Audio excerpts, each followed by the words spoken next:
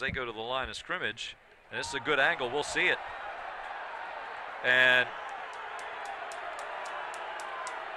not sure.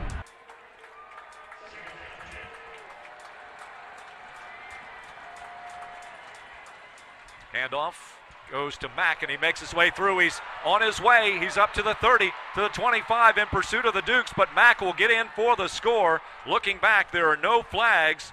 So the Maine Black Bears, they break the first true big play of the day. It's Mack running all the way for the touchdown.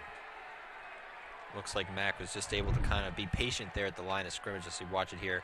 Kind of probes around and then pops out, finds a massive hole, is able to break through and obviously fast enough to find his way into the end zone.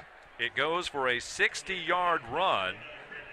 And the Maine Black Bear handoff goes to Mack, and he makes his way through. He's on his way. He's up to the 30, to the 25 in pursuit of the Dukes, but Mack will get in for the score. Looking back, there are no flags. So the Maine Black Bears, they break the first true big play of the day. Line of scrimmage as we watch it here.